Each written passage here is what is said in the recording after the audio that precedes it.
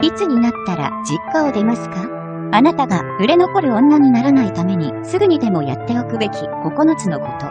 90日以内に彼に君の両親に挨拶したいと懇願させるその秘密のテクニックとは？期待せずに参加した合コンにおいてイケメンを発見。しかし、こんな美味しい話があるのでしょうか？そこで、今回、イケメンが合コンに参加している理由を解明すべく、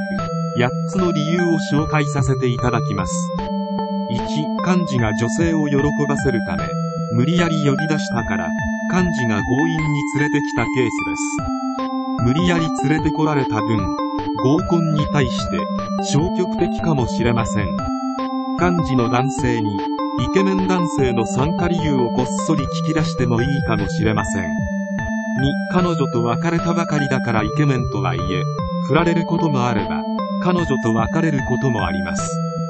彼女と別れた絶妙なタイミングで、合コンに誘われ、参加している可能性があります。どれくらい彼女はいないの？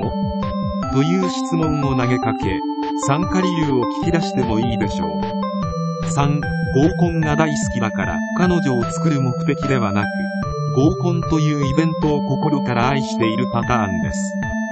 合コンの進行に異様に慣れていた場合には、このケースが当てはまるでしょう。仮に彼女がいても、合コンに参加する可能性が高いので、彼女になると苦労するでしょう。4、女の子との会話になれることができず、彼女ができないからイケメンではあるが、会話が苦手で、女の子と親しくなれないパターンです。会話に不慣れであることは、話をすればすぐにわかるでしょう。率先して話しかけ、イケメン男性のコミュニケーション能力をチェックしましょう。